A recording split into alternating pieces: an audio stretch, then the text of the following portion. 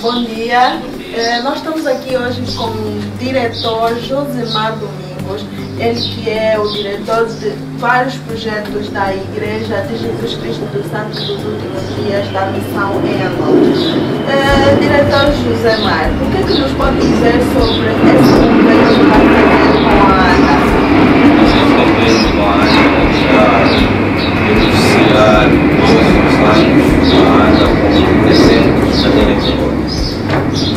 com 200 cadeiras de rodas. É, podia explicar para nós como seria esse processo da recepção de cadeiras, como que funciona esta parte missionária da Igreja de dos Santos dos últimos dias e como tem sido a inserção e o próprio desenvolvimento desses projetos da Igreja, atendendo que estamos a falar de uma associação a nível nacional, de uma igreja com uma dimensão muito grande como é a nossa organização.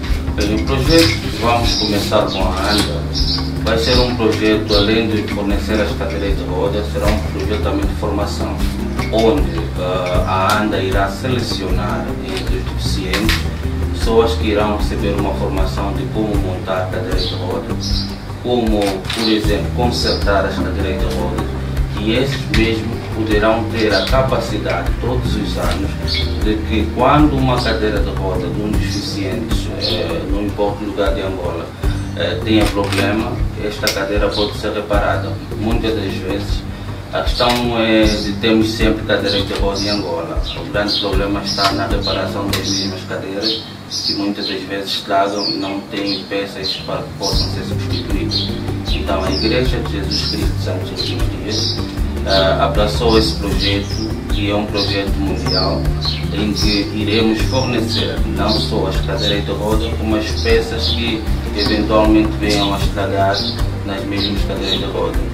Anualmente iremos uh, fornecer à Associação ANDA 300 cadeiras de rodas para os deficientes e pessoas com deficiência em Angola. Muito obrigada. Nós percebemos que, para além da doação, a igreja tem a missão de formação. E formação é um quesito muito importante no que diz respeito a todos os aspectos, porque tem-se dito que não adianta entregar apenas o peixe, devemos ensinar as pessoas a, a pescarem.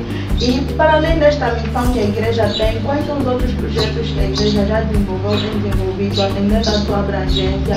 E quais são os potenciais projetos que poderão ainda desenvolver com a ANDA, atendendo que essa parceria poderá beneficiar não só a igreja, mas também a associação e a toda a população angolana no geral que sofre de deficiência. Além do projeto das cadeiras de rodas, nós temos também um projeto de genealogia oral.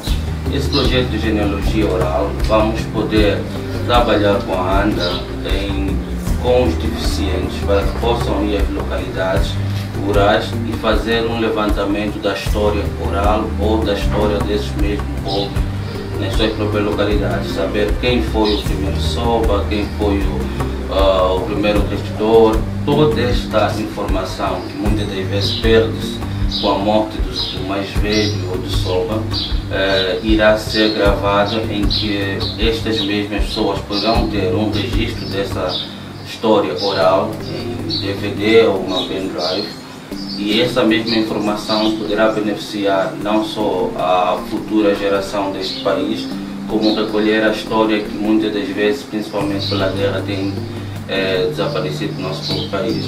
Para esse projeto, a, a, a igreja tem uma outra associação que chama-se Family Search.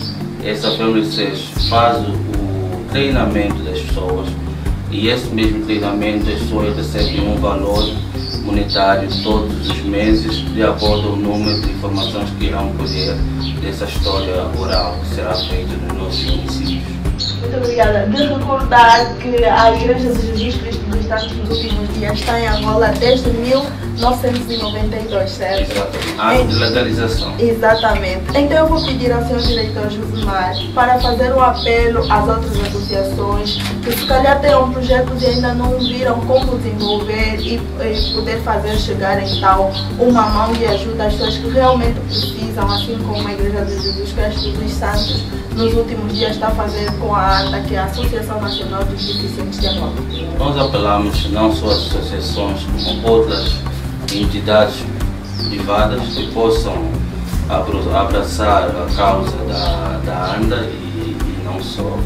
E estamos abertos em parcerias com outras para que quem tiver um projeto social uh, possamos sentar e encontrar uma forma de continuarmos a trabalhar juntos. Muito obrigada então e contamos convosco, convosco para próximos projetos. Muito obrigado. Ah.